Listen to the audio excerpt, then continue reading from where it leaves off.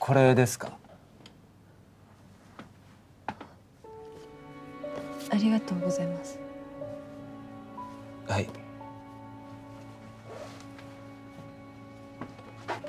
あの。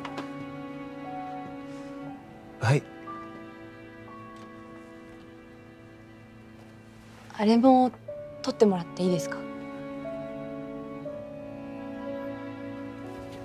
はいありがとうございました。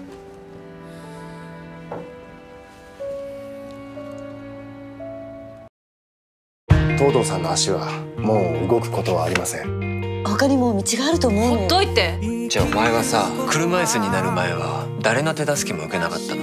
やってみないか？パラカヌーバカじゃないの角度を一度大きく下げてみるから。誰でもひっくり返る。でもまた這い上がって乗ればいい一人じゃない。